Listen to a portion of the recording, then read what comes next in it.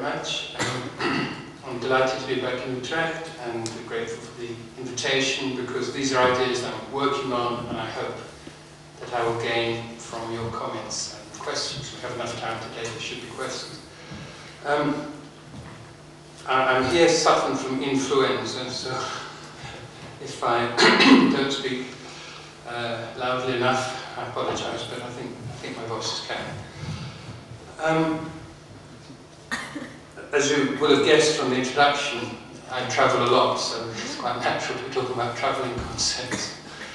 Um, and uh, the PowerPoint that should have been available for you said as follows, the outline of the, of the lecture. So I'll tell you it now as an outline, so you have some idea of where we're going to. It begins by talking about Twining's, William Twining, an important professor uh, Twining's call for a general jurisprudence, a general legal theory. It continues by asking what does it mean to say that some concepts travel well and some concepts travel badly.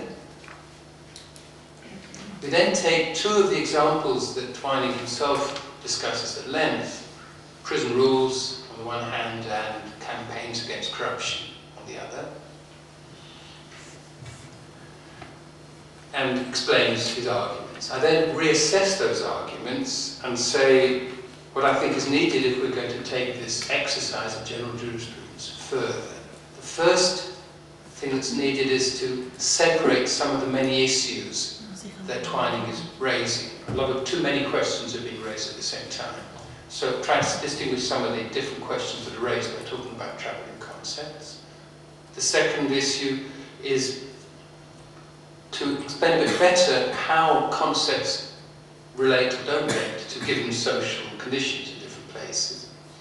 How one talks about that. And uh, lastly, to try and get behind who is making these concepts travel, who is making them general. We say that some concepts are more general than others, but is it a question of finding or making? So that's the outline of the talk I'm going to give you.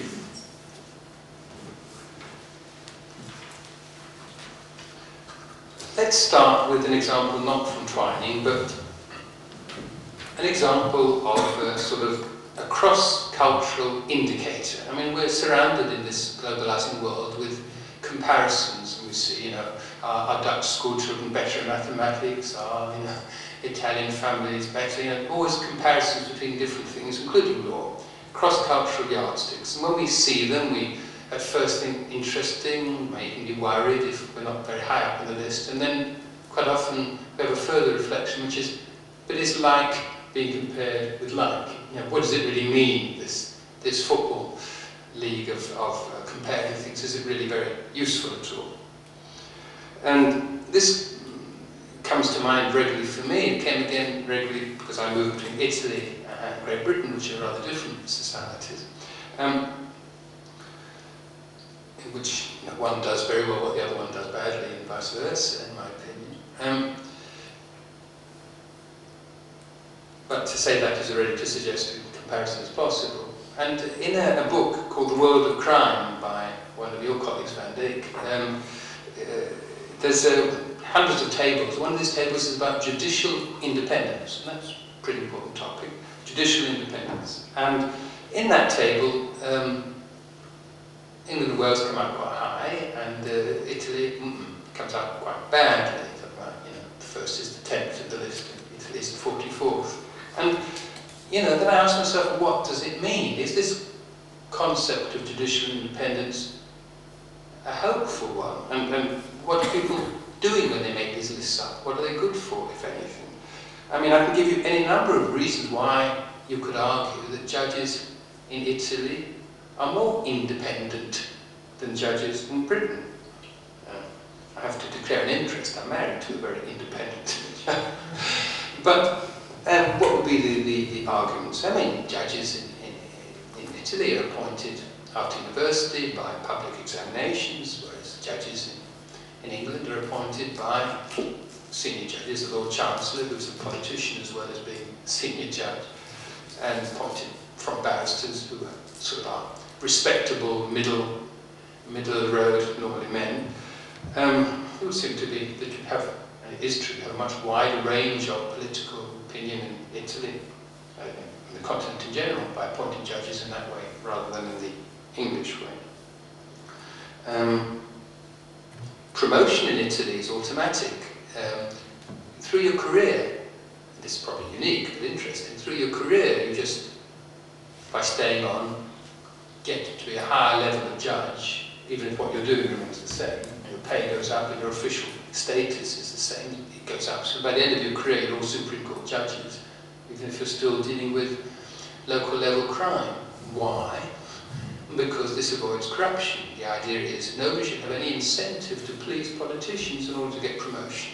So, you may think the remedy is worse than the problem, but this is the remedy. In terms of independence, it would seem to me to give them high marks.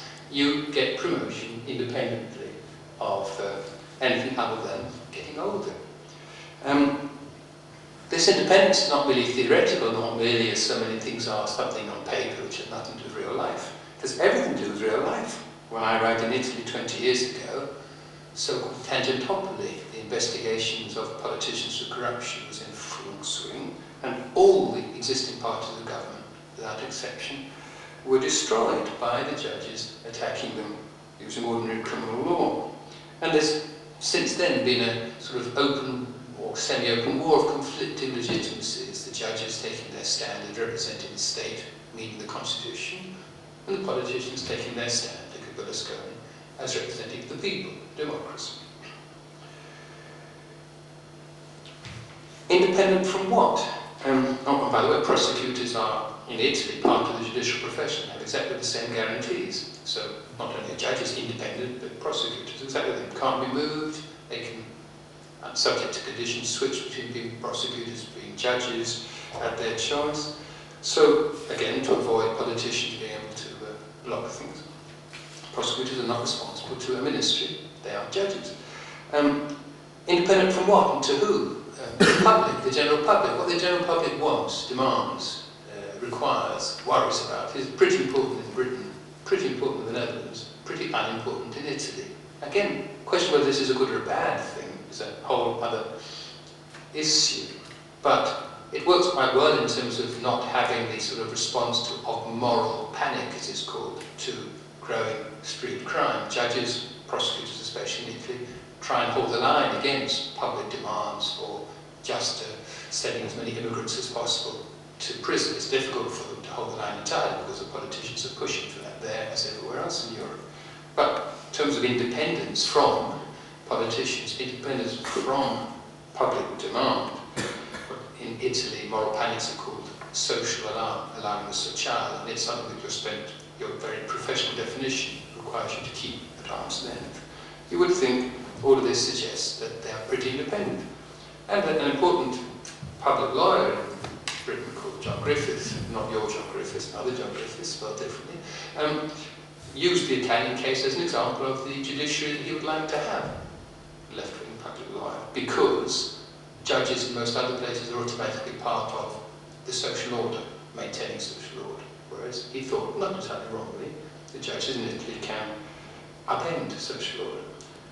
And still, Italy is 44th and England is 10th. Is it because the judicial independence that I've been describing is, understandably, regularly being attacked by the politicians who don't like it one bit? All right, it is under attack. But what's under attack is a much stronger version of independence than you're likely to find elsewhere.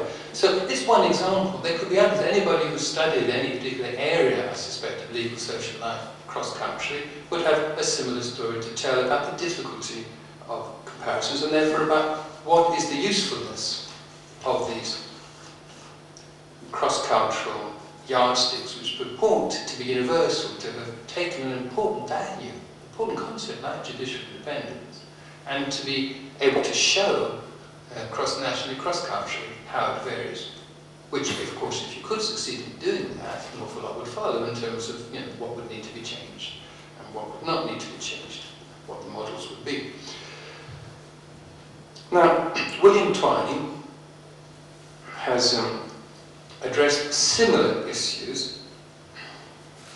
as part of his long-standing concern. William Twining is somebody who introduced the idea of law in context in Britain, the idea that law can only be understood in its wider social context. So he's played a very important role in this. And has a sort of long uh, running battle, if you like, with the Oxford School of Jurisprudence, which stresses the importance of analytical jurisprudence, um, ordinary language philosophy, clarifying meaning of terms, and looks very much down anything to do with social theory, social sociology, social background. And Twining, if you like, has, has one eye on them mm, as the outsider, living in Oxford, but never, never part of that group. And in, in what I'm talking about today, he really has them in his sights by saying, in a globalizing world, the Oxford philosophers of law who play around with differences in meaning of obligation authority in the English language and where you get by analysing these terms, are really missing the opportunity and the challenge of facing the jobs that legal theorists need to do in uh, the wider world, facing globalizing challenges. So he's written about this in the paper I'm particularly commenting on today, which is called uh, Have or Travel, Analytical Jurisprudence in a Global Context. Hopefully some of you have had a chance to look at it. But also in a previous book called Globalization and Legal Theory, published by Cambridge in the year 2000, and the book that's just come out, again published by Cambridge, called General Jurisprudence, Understanding Law from a Global Perspective. So given the sort of things that interest people here and interest uh, staff here, it sounded like a topic that would be worth sharing with you. What does Twining say he's trying to do, this search for a general jurisprudence? What's it about?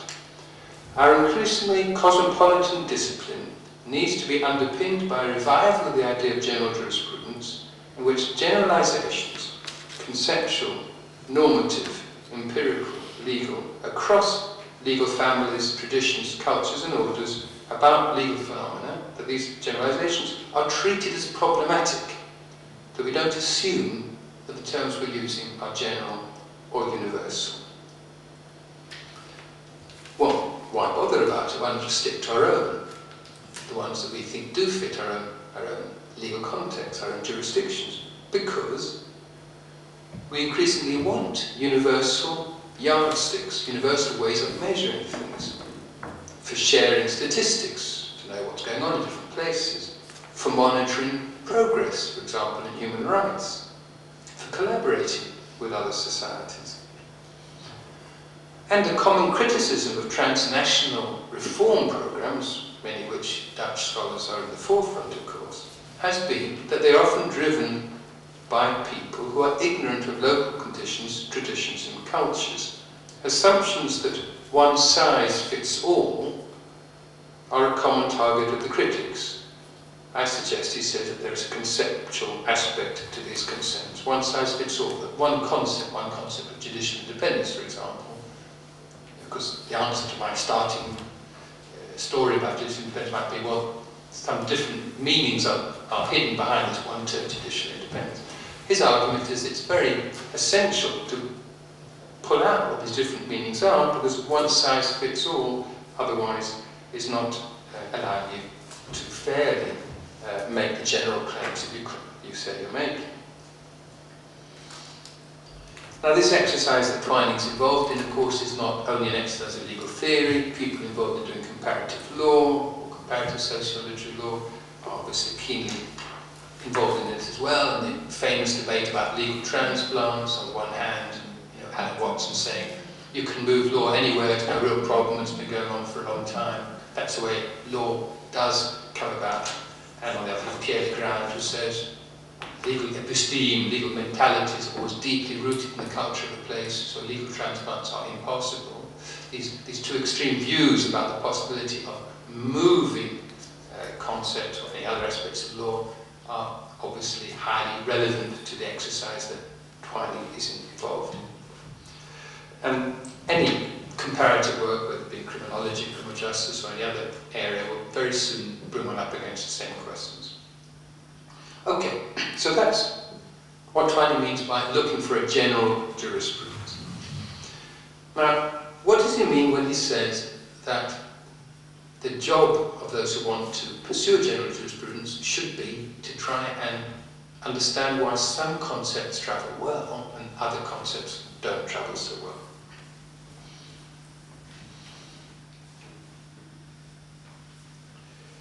His idea is um, he says travelling well is a metaphor associated with wine. you can just imagine it's Oxford, a living person having a wine metaphor. It's used broadly to refer to the transferability of concepts and terms across different contexts.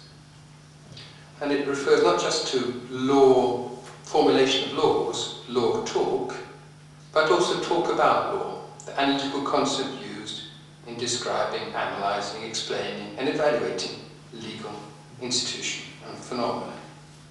So it's a sort of um, metaphor, you know, some wine, including Italian wine, doesn't travel very well. You know, it's all right in its own place, but it doesn't fit so well, doesn't, you know, not, not good to drink elsewhere. That's the metaphor being used here. We'll come back to later whether that's an improvement on transplants or yet another metaphor that confuses more than helps, but that's that's the one on the table at the moment, travelling well. And what does it mean in practice, metaphors aside? It in includes exploring what it is for a concept or a group of concepts or models or frames to travel far, to travel well. That is, so they can be used with reasonable clarity and precision to express, describe, analyse, compare, generalise about, explain or evaluate the subject matter in question across various kinds of boundary. And his tests of travelling far and well are empirical and pragmatic. Does it fit? Does it work? Can the same concepts be used with roughly the same meaning in similar contexts in England and Italy, or in California, Tanzania, and Japan? So, that's what travelling well is about, seeing whether concepts can be used across places. Now, please note one thing here, which is not always clear in Twining's presentation, but I think is the only fair way of understanding what he's telling us. This is not the same discussion that so many of us know about legal transplants. You know, do they root or not? Do they fail? Do they, do they get accepted? Can we really change other places or not? Because his concern is with the etic rather than the emic. The emic, as you know, is what people within a culture uh, think about, how they talk about things. The etic is how does the outside, the external observer see things. And Twine's concern is about the communication between, at the level of the etic, between external observers, who may include people within their own society, externally observing the society.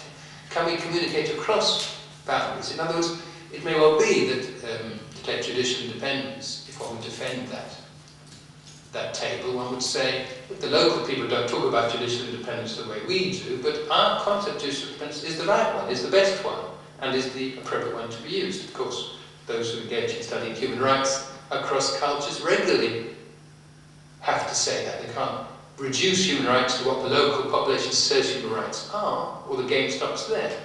So Twining is not so much talking about working in the sense of has it yet worked, but by what justification we have for talking about a concept on the assumption that it is applicable, even if it hasn't yet been applied. It's not a problem, says Twining, that there's disagreement about what the particular concept would apply to. We'll see when we talk about prison rules that there are all sorts of practices in United States, uh, maxi prisons and waterboarding and death row and every other thing. But none of that changes the idea that prisoners should have rights and there should be some sort of uh, protection of it. The fact that there's, it's a big question whether they are actually being protected or how we could protect them better. Whereas on the other hand, as we'll see with the discussion of corruption standards, there can be a point at which the concept we're talking about becomes so essentially contested. You what do you mean by? Somebody might even say that's not corruption. You know, it's a good thing, not a bad thing. And at that point, whether the concept works or not is more in question, says Twining, because even ETIC, not just the local people, even those who want to analyse it, other analysts would say that term is not an appropriate term to be using. He gives some examples of what not fitting means, not travelling means, um, which are curious.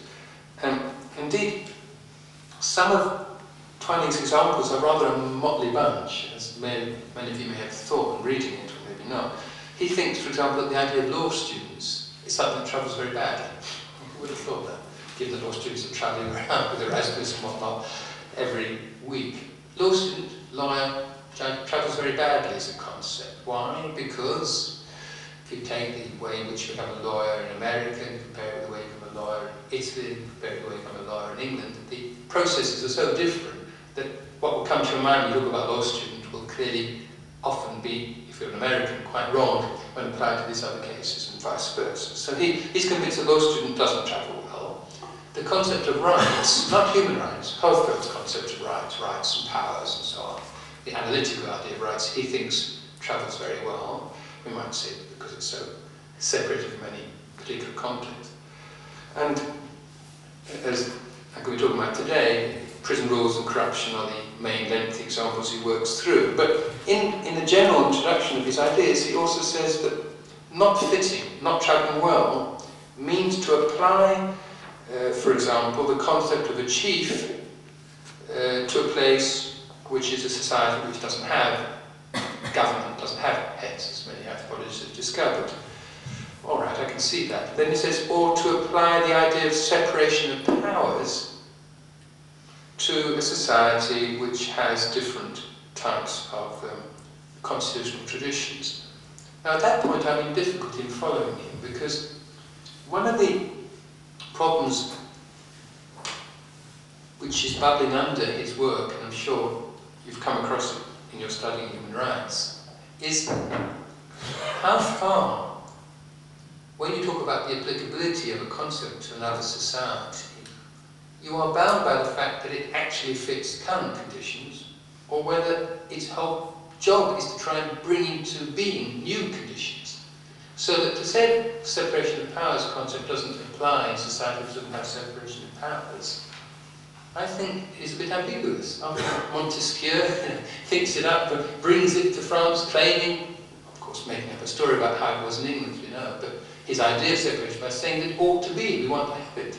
So the applicability of a concept, if it's a normative concept, if it's an evaluative concept, can't be reduced to the existing conditions. And therefore saying it doesn't travel well because it doesn't currently apply seems to fall foul of the ambiguity. And the ambiguity is Twining's, not mine, because he says, in talking about travelling concepts, he's not just talking about describing, and explaining what actually is the case, but also about evaluating critically um, what ought to be the case. And it seems to me for that purpose, it would be perfectly legitimate to use the term it doesn't currently apply if you think it ought to apply. Anyway, let's move on to these two examples.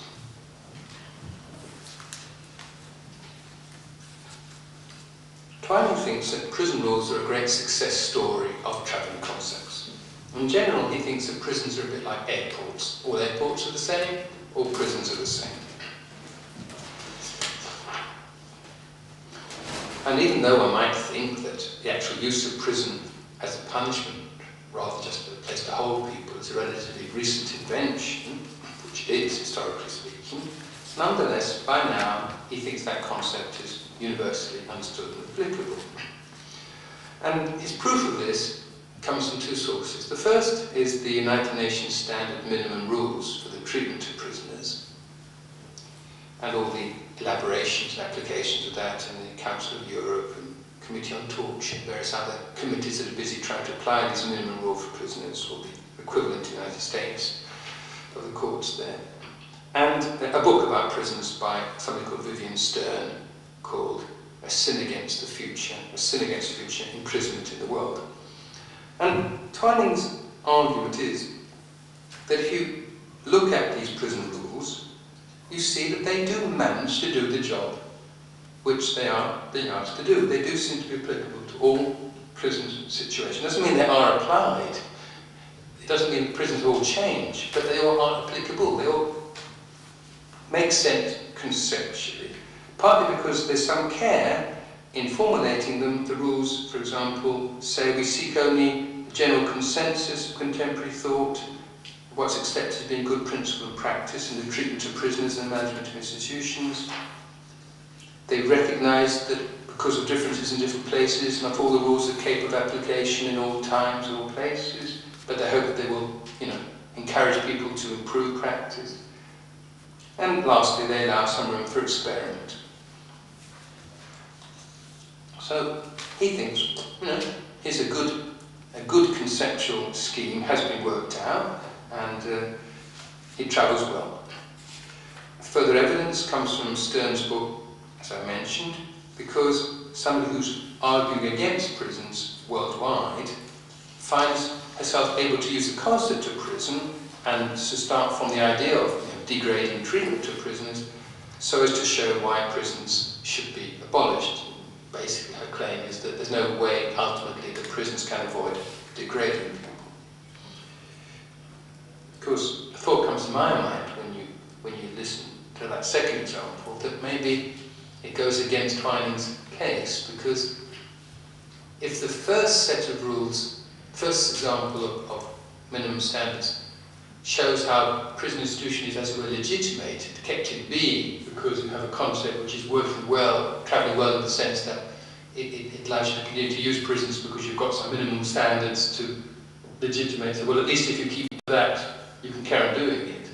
Uh, Stern's book is arguing you can never really keep to it. In other words, putting the whole exercise into question. So there's some tension between the two proofs that he offers that prisons and prison rules travel well. Anyway, let's move on to the corruption example.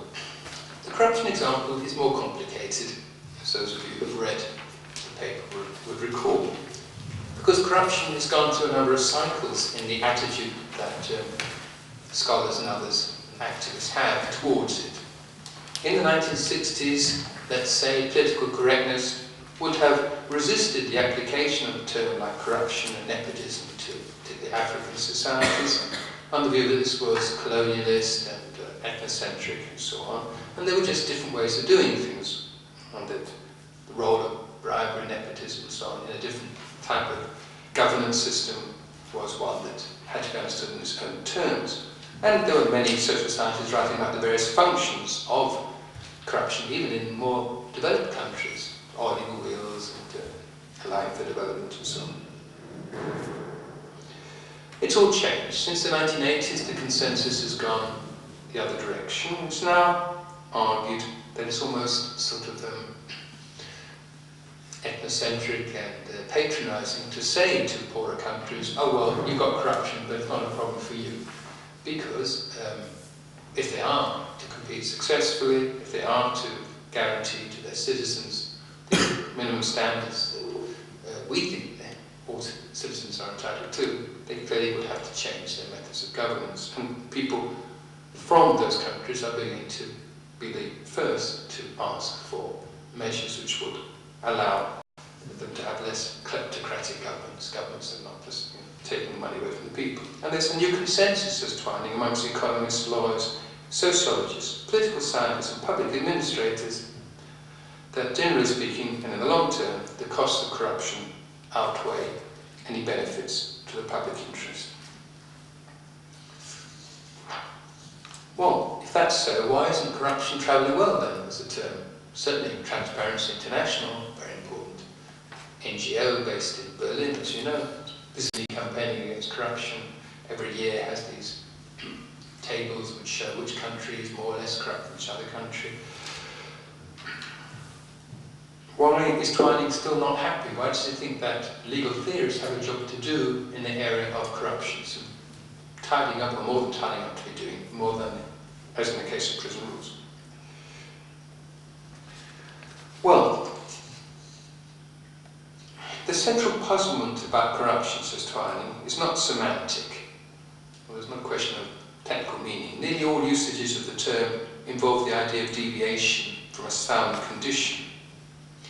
Rather, it's what constitutes a sound or normal condition in politics or public life that is contested, that is still contested. I mean, his problems with the definitions used by Transparency International, but not just by Transparency International, the idea of um, private interest being used uh, in, in, a public office, you know, public office being used for private reasons, is that there could be corruption also on the private side. You know, what about people are doing in, in a private role? And that the distinction between public and private is, is made too sharp here. And anyway, people may be doing it not for themselves, but for some others or some collectivity. So the idea that just you getting private benefit from your public office doesn't cover the more extended form of uh, using your role for um, not the public interest in general, but for one sector of it. Um, above all, this narrow conception focuses on deviance or formal infractions of settled standards by office holders rather than broader contested conceptions of public interest or civic virtue.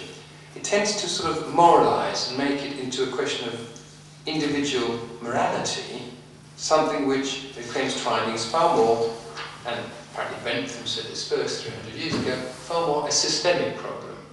When people say we had no choice, they often are telling the truth in a certain sense that yes, everyone else is doing it. And therefore, to try and approach it only in terms of personal integrity uh, may be missing what really is required to change a given system. So that the term corruption is not helpful because it carries this individual morality approach. And it's not helpful, says Twining, for a second reason, that it's too emotive, used in emotive context, and uh, its content is too much full of condemnation and too little full of analysis.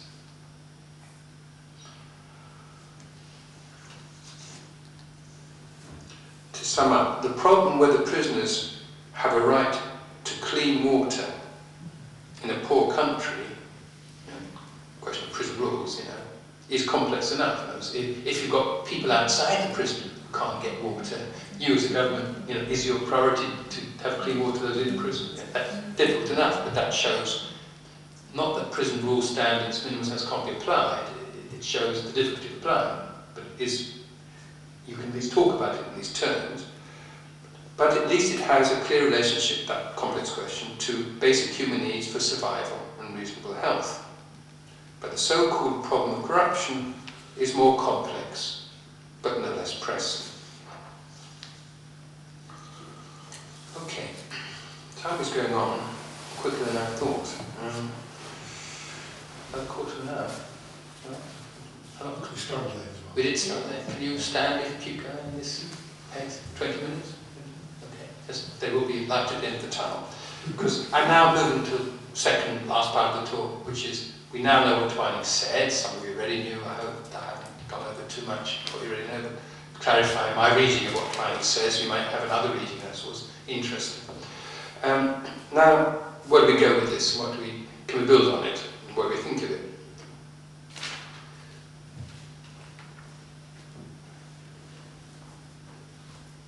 Is he right? I mean, the examples are, are, are, are not necessarily presented as uh, ideal comparators. Prison rules on the one hand, corruption on the other. These have to be two exploratory examples that he uses, so we shouldn't be you know, too concerned about these examples as perfect representations of, on the one hand, failure to travel, on the other hand, successful travel, but they are they are the illustrations that he offers us, and he does conclude that one travels very well and the other one travels with difficulty. So I suppose we can, you know, work with them. And if we do work with them, I suppose uh, one reaction might be, are we really so sure about these claims? Could we just as much argue that both these concepts travel equally well or equally badly? Equally well in the sense that uh, both prison rules and uh, corruption have uh, organizations trying to spread them in different places, have a lot of stir about these things, a lot of talk about it, do change conditions on the ground in different places, one way or another. Um, on the other hand, don't travel well, well that's the Legrand, the opposite of the Watson. The who don't travel in the sense that deep down it may be that what prison rules means in Africa what it means in, in uh, England or America, what corruption means in these two places, are equally, in both cases, a question of the local interpretation in the light of all the other concepts, language, culture, institutions of the place. So probably if one travels better or worse, you, know, you could argue that each of them travel insofar as they are re-elaborated within the particular culture. If you really want to push the point, you could even say that corruption standards spread better than prison rules in the sense that uh, corruption seems to be much more potent at changing things. The fact that the consensus changed from the 1960s to the 1980s, as Twining tells us, is exactly the proof that talking about corruption is you know, getting us somewhere. And I don't know that prison conditions have necessarily improved as much as a result of talking about prison rules, certainly not in poorer countries. Indeed, when you check the literature about prison rules, some strange things come up that are not really satisfactorily dealt with by Twining. He mentions at one point, for example, that another scholar, Jonathan Simon, who teaches at Berkeley, uh, suggested to that the treatment of prisoners cannot be separated from the prevailing ideology of imprisonment, and Twining dismisses that. But when you look at what the courts do, what the Council of Europe does, people applying prison rules, you find again and again that the only way they can give them sense, give them meaning, is to rely on the ideology of rehabilitation. The prison exists to rehabilitate. Because that then sets the limits of what you can and can't do to prisoners and their rights, this and the other. At the same time, here's the problem, at the same time that these scholarly consensus that Twining you know, is interested in, has rather agreed that if there's one thing prison can't do, it's rehabilitate. Indeed, who he's using as part of his argument, is of that number. So it's as if prison rules are travelling well with a sort of ghost in the machine, a sort of um, uh, the logic behind it, which is actually one that nobody really believes in other than the, the judges or the committee people who um, purport to believe in it for the purposes of applying these rules. And when you look at the level of description of different prison systems, the idea that prisons are airports, quoted from Italo Calvino, prisons are airports, falls apart. There's a, a very interesting, as yet unpublished, paper by a man called Christopher Birkbeck um, called Imprisonment and Internment, comparing penal institutions north and south. And he worked most of his career in Venezuela, so he knows of what he speaks, now working in Britain. And he is fundamentally convinced that what prison means in Latin America is quite, quite different from what it means in North America, even different the fact that even in the United States, people don't talk about prisons, as we mentioned, as being concerned with rehabilitation, but prisons as warehouses, where things are stored, moved in and out, objects moved in and out, which is amazing enough, so far from having no prison rules for a warehouse. But in Latin America, the contemporary term is concentration camp or internment camp. And there are, the main difference is that there's no possibility, says Birkbeck, of any sort of social engineered outcome, or even the social engineering, that is a manipulation that goes into running a warehouse. Because they are chaotic places with violence and the inmates running things. It's quite a, a different setup. So, you know, if you want to make the argument, for the sake of it, uh, against Twining's comparing prison rules and corruption, you could make that it isn't quite so obvious that prison as a term, prison rules as a way of regulating, is equally uh, applicable and understandable, whereas corruption falls short.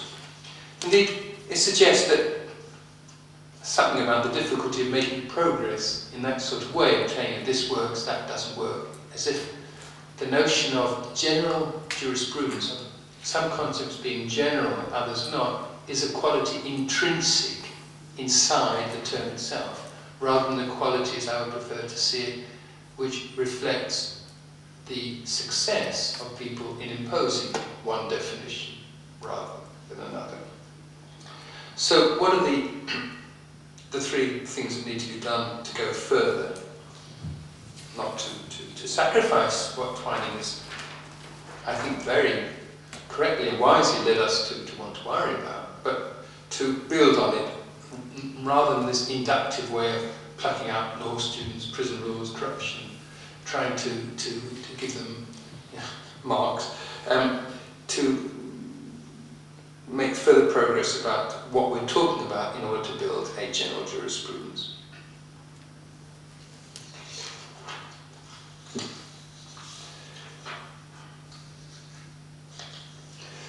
Well, the first issue is in, in separating out different questions that his uh, adventure is, it seems to me, somewhat mixed together. How important are concepts? And in what way are they important?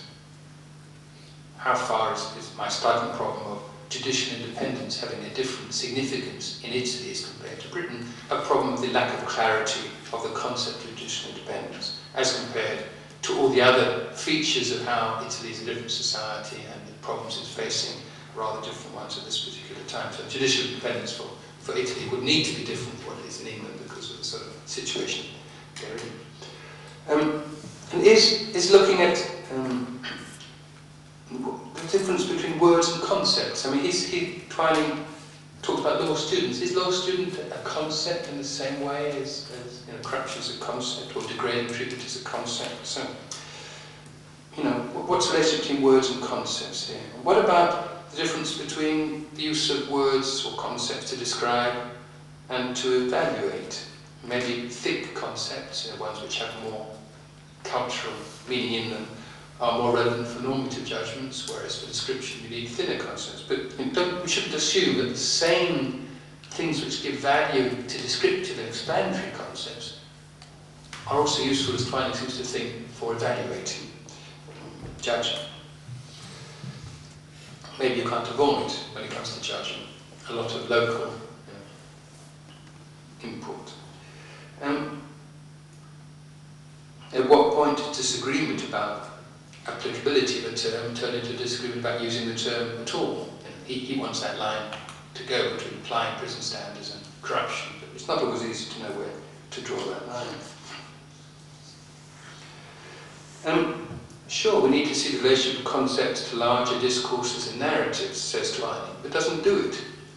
Um, he also doesn't raise the basic problem of translation. I mean, translation not only is a question of language, but translation is a question of culture. It's very hard to believe that you can pursue an exercise in general concepts free of nuances of language and culture. And, as you know, we really are in a brave new world of cosmopolitans all talking to each other in English. But uh, otherwise, you know, whatever is produced in this cosmopolitan language will have a highly questionable relationship to local. Take, take terms like tolerance, which again is widely used nowadays. And I've talked about it when I was in Utrecht last time. Tolerance in, in Italy all sorts of implications, nuances, and then sub-words like uh, you know, guarantees for the criminal in the trial, and then whether the guarantees are too much, so we talk about hairy guarantees, hairy in the sense of not really genuine guarantees, you know, guarantee pelosi. On the other hand, uh, gedogen, the term in the Netherlands, talk about particular tolerance where the government half closes an eye. The, these are so deeply part of local cultural practices that it's hard to imagine that imposing a term tolerance, which is supposed to cover all places, is going to be as useful as rather, as I would be more tempted, getting to grip with the local nuance. Twining is no fool, he, he's fully aware of the importance of ethnography and local knowledge, but the pursuit of the general jurisprudence, I suppose, in his attempt to shape the Oxford legal theorists out of their uh, risks, I think, go to the other extreme of not recognizing the uh, limits on how far such an, an exercise can be achieved. The notion of travelling, um, travelling well, this metaphor, is a bit suspicious. Why does one not travel well? Not because in another place it doesn't fit, you know. If you could get Italian wine, whatever the wine we're talking about, by some miracle, to move, uh, teleported from Italy to Utrecht, it would be great.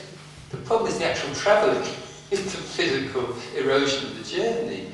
That's the problem. That, that has no cognate sense for what we're talking about here with concepts travelling. The problem with concepts is not the, the journey, it's the applicability. So we're much nearer to the old discourse using the metaphor of legal transplants, and God knows that's problematic enough as a metaphor because law is not, not a, either a medical or a botanic transplant. But at least, at least there you have the sense of can the thing which grew in one place grow in another.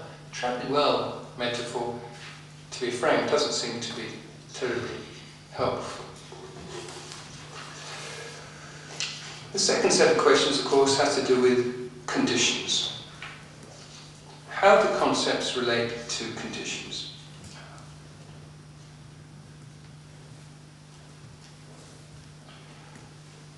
Maybe corruption, if we allow Twining's argument, corruption travels less well because it's a term which links a whole wider society, politics, society, economics, Whereas prison rules are more localized, circumscribed, just a question of a particular institution. So maybe that's relevant. You know, what are what's the extent of the wider conditions to which a term relates?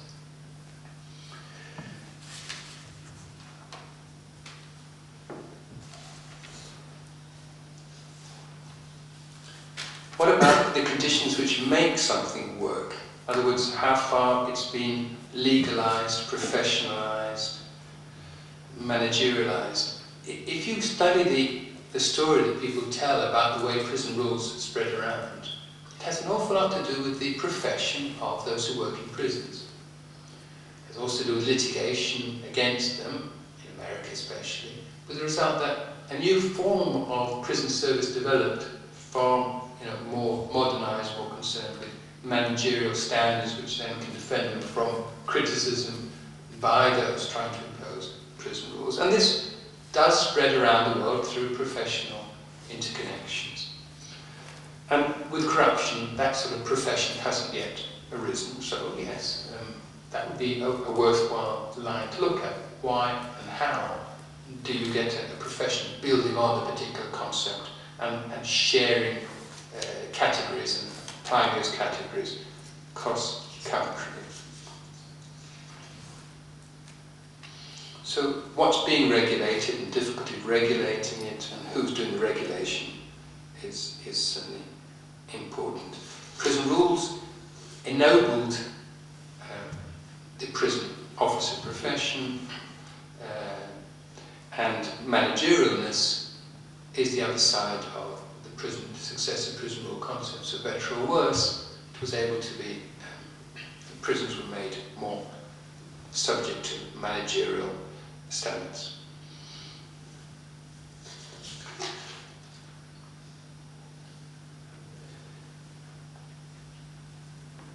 Finally, what about, and this links to the final point, what about who lies behind uh, the pressure to make particular terms in general, the making of the term. It's interesting that Twining never uses the word resistance, and it's hard for a social theorist to, to read this and think, well, you know, what's general, what's good for some is bad for others. You know, some might not like the spreading of particular terms, and indeed it's highly questionable. Take zero tolerance in the criminological literature. There's lots of writing about how the term zero tolerance spread from the United States to Britain, no doubt also to the Netherlands, and that's a bad thing for most left-wing criminologists.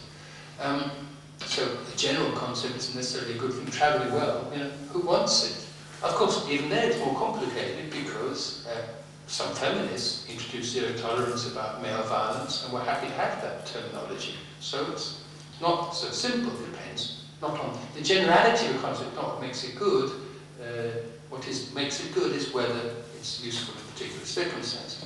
So some people are writing about the dangers of zero tolerance spreading around the world, others are writing about the difficulties of making human rights spread around the world. So the question of whether you want them to be general or not, who's trying to, what networks, what epistemic communities are behind this, must be the central question. I agree that it doesn't um, solve the normative question uh, that sometimes Twining seems to be raising, which is normatively we should be able to give an answer to whether the prisoner in a poor country is entitled to water, even if the people outside can't have easy access to it. I agree that switching the discourse, you know, in a sociological way, saying, well, let's see who's behind, who's pushing things, will not, of course, answer that normative question. But that normative question seems to be inseparable from the, the intellectual issue of why some concepts are or are not general.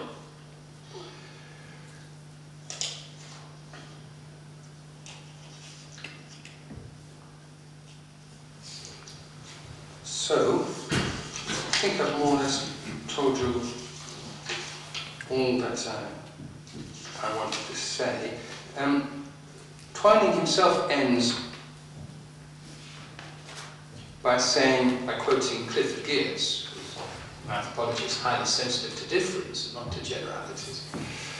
Um, he wrote a famous piece uh, about being an anti-anti-relativist. You know, I shouldn't be frightened of relativism, as people often are. One should, places are often different, do live in their own worlds. But Twining ends quoting Geertz by saying, we should not mistake the convergence of vocabularies for the convergence of views. But if that's so, if using the same terms, if using the same concepts doesn't necessarily have to mean the same thing, that's right. Just think of the way democracy or other community, other terms, English terms often are used by people with very different political views, and therefore they must mean different things or in very different political circumstances.